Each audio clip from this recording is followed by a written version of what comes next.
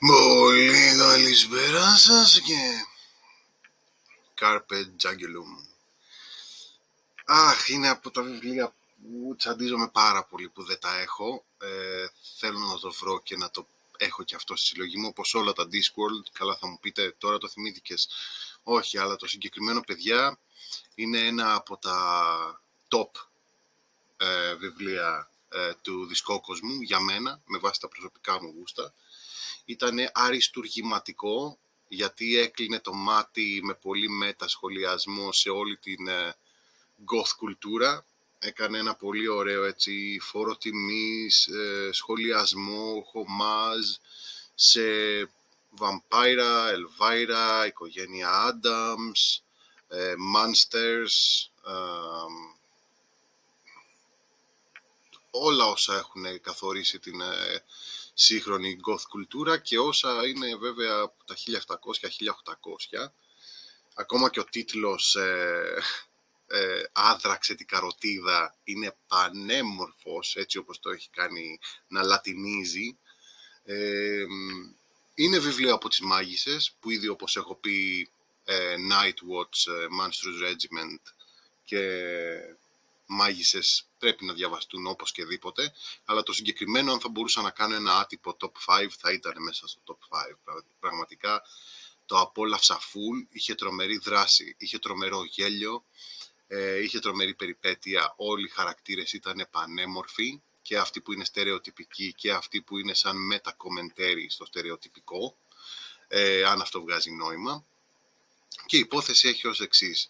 Ε, είναι μια οικογένεια με, με vampires που είναι τρομερή προστίκη για μένα τα vampires στο Discworld. Έπρεπε να μπουν ε, σε αυτή τη κλίμακα, όχι ε, παροδικά, ε, δηλαδή να κάνουν μια περατζάδα και να φεύγουν. Ήδη έχουμε την Angua που είναι full ε, fleshed werewolf, που λέγανε και στο Βυζάντιο, όπως καταλάβατε με τα τέλεια ελληνικά μου. Ε, λοιπόν, είναι μια οικογένεια βρικόλακες και θέλουν να κατακτήσουν τη Λάνκρη.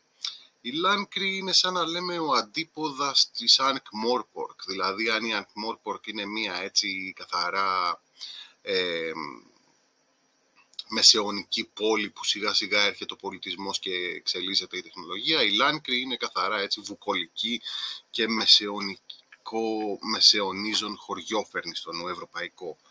Ε, αυτή η οικογένεια των ε, βαμπύρ θέλει να κατακτήσει το κάστρο της Λάνκρης και να γίνει, ε, ε, να γίνει, να πάρει την εξουσία ρε παιδί μου, δεν μπορώ να μιλήσω, σκάλωσα. λοιπόν, και ουσιαστικά οι χαρακτήρες, οι αγαπημένοι μας χαρακτήρες, οι τρεις μαγισσούλες προσπαθούν να αντισταθούν σε αυτό. Ε, έχει πολύ ενδιαφέρον ε, οι Άγνες, ε, η κόρη τους, αν θυμάμαι καλά, ε, η οποία ε, έχει ένα struggle, ένα, μια εσωτερική έτσι, διαμάχη, δεν της πολύ αρέσει αυτή η ζωή που κάνουν οι γονείς της.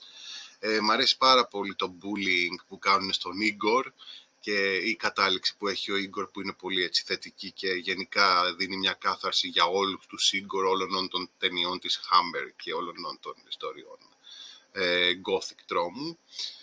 Ε, Υπάρχουν πάρα πολλές σκηνές με πάρα πολύ γέλιο, ειδικά η Granny Weather Walks που ε, απογοητευμένη από τη Μάργκρατ έχει πάει σε, ένα, σε μια σπηλιά και είναι σαν ερημίτισα. Είχε πάρα πολύ γέλιο. τι άλλο, μισό να θυμηθώ γιατί πάει και καιρό.